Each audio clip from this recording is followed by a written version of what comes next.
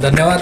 आज एक ऑक्टोबर जागतिक ज्येष्ठ नागरिक दिन आणि त्यानिमित्तानं आपण सर्व सन्मान्य ज्येष्ठ नागरिकांचा सन्मान आणि एक त्यांच्याप्रती दातृत्व व्यक्त करण्यासाठी या ठिकाणी जमलेलो आहेत. या कार्यक्रमासाठी उपस्थित सगळे आमचे सन्मान्य ज्येष्ठ नागरिक या कार्यक्रमाच्या अध्यक्षा माननीय दलजीत कौर जज मॅडम आपल्या लोकसभा मतदारसंघाचे सन्मान्य खासदार माननीय श्री प्रतापरावजी पाटील चिखलीकर साहेब त्याचप्रमाणे मंचावर उपस्थित असणारे आमचे सहकारी महानगरपालिका आयुक्त डॉक्टर सुनील नहाने साहेब सामाजिक न्याय विभागाची सर्व अधिकारी श्री माळवतकर साहेब दासरी साहेब ज्यांच्या सहकार्यानं हा कार्यक्रम आयोजित केला जात आहे. आणि अर्थातच आजच्या कार्यक्रमासाठी ज्यांनी विशेष श्रम घेतलेत असे श्री तिरकर साहेब Shri doctor P D Joshi Patodekar साहेब आणि इतर सर्व मान्यवरांना माझा नमस्कार. असं म्हटलं जातं की जेव्हा आपण एखाद्या नवीन कामाची सुरुवात करतो तेव्हा घरातल्या थोड्या मोठ्यांचे आशीर्वाद घ्यायचे असतात. मी काल रुजू झालो. माझ्या घरातल्या ज्येष्ठांचे आशीर्वाद तर घेतलेच. आणि आज आपल्या सगळ्यांच्या जिल्ह्यातील ज्येष्ठांच्या आशीर्वाद रूपी शुभेच्छासुद्धा मिळाल्यात ही निश्चितपणे मला वाटतं एक चांगली शुभ सुरुवात मला मिळालेली आहे. आणि आपल्या या शुभेच्छा आपले आशीर्वाद निश्चितपणे माझ्यासोबत राहतीलच. कारण ज्येष्ठ नागरिक म्हटलं की आपल्यासमोर अनेक विषय येतात. म्हणजे त्यामध्ये कायद्याचा एक विषय आहे वेगवेगळ्या सुविधांचा विषय आहे आणि इतर सामाजिक प्रश्न जे आहेत ते सुद्धा आहेत. ज्येष्ठ नागरिक निर्वाह कायदा जेव्हा आला आणि त्यात प्राधिकरणं झाली त्यामध्ये जिल्हाधिकाऱ्यांना अपिलीय प्राधिकरण नेमलं गेलं होतं त्यावेळेस ज्या केसेस यायच्या त्या बघून मग कधी कधी वाटायचं की आपण म्हणजे जिल्हाधिकाऱ्याच्या खुर्चीतनं बाहेर निघून एक माणूस म्हणून जर विचार केला तर ती दाहकता त्याची लक्षात यायची की आपल्याकडे एकीकडे आपण भारत देश आपला कुटुंबांचा देश म्हटला जातं की एकीकडे मोठी मोठी संयुक्त कुटुंब असल्याची आपली पार्श्वभूमी आहे आणि दुसरीकडे अशा पद्धतीचा कायदा बनवावा लागतो आणि त्याची अंमलबजावणी करावी लागते. हा एक विरोधाभास होता आणि त्यात एक नेहमी असंच म्हटलं जातं की ज्या दिवशी या कायद्यामध्ये केसेस येणं बंद होतील त्या दिवशी खऱ्या अर्थानं हा कायदा यशस्वी झाला असं आपण मानू. तर त्या दिवसाकडेच आपल्याला वाटचाल करायची आहे.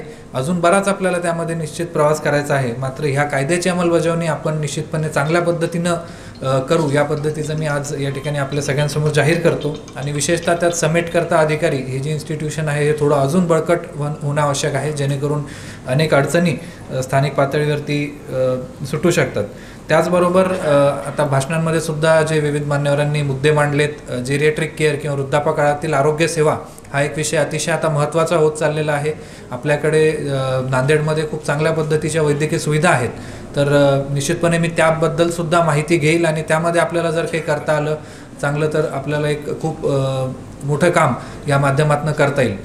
त्याचबरोबर दुसरा एक विषय आता जो डॉक्टर पी डी जोशींनी सांगितला की बरेचदा मुलं किंवा मुली हे बाहेरगावी असतात इतर देशात असतात आणि त्यावेळेस मग घरी ज्येष्ठांचा सांभाळ करण्यासाठी कोणी नसतं.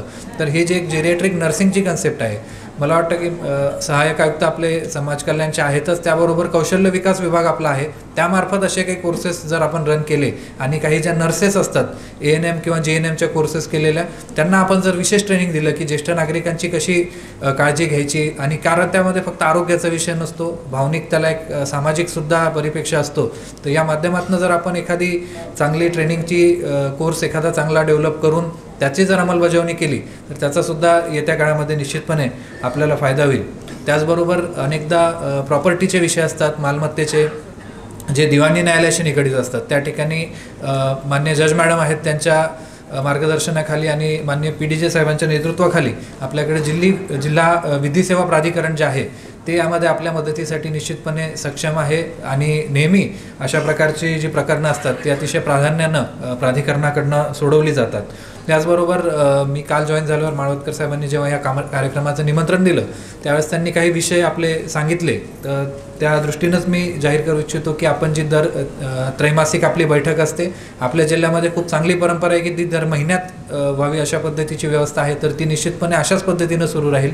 त्या संनियंत्रण समितीचा अध्यक्ष म्हणून आपण दर महिन्यामध्ये ती बैठक निश्चितपणे लावू जेणेकरून वारंवार आपण जर भेटलो तर काही मुद्दे आपले मार्गे लागतील. असं व्हायला नको की एकदा बैठक झाली आणि मग तीन महिन्यानंतरच आपण त्याचा पाठपुरावा केला.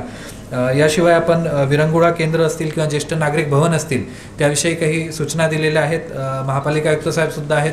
त्याच्यावरही आपण बसून काहीतरी मार्ग काढू. ज्या ज्या आपल्या मागण्या आहेत निश्चितपणे सर्व आपले फेसकॉमचे पदाधिकारी असतील किंवा आपले शासकीय त्या विभागाचे कर्मचारी असतील यांच्या माध्यमातून मी एकत्रित करून घेऊ. आणि आपल्या सगळ्यांनाही शाश्वती देतो की या सगळ्या मागण्यांवरती आपण एक सकारात्मक विचार करू. आणि सोल्युशन बेस्ड अप्रोच ज्याला म्हणतो आपण की यातनं मार्ग कसा काढायचा? एखादी अडचण आपल्यासमोर असेल तर त्यातनं बाहेर पडण्याचा मार्ग कसा काढायचा? या दृष्टीनं विचार करून आपण जिल्ह्यातील ज्येष्ठ नागरिकांसाठी एक चांगली सुविधा उपलब्ध करून देऊ. एक ज्येष्ठ नागरिक कक्षाचा सुद्धा विषय आहे तो सुद्धा निश्चितपणे आपण आगामी काळामध्ये मार्गी लावू. अशा माझ्या खात्रीसहितच मी थांबतो. आपण सगळ्यांनी या ठिकाणी स्वागत केलं आणि या कार्यक्रमाचा भाग होण्याची संधी दिली. त्याबद्दल मनापासून आपला आभार मानतो. जय हिंद जय महाराष्ट्र.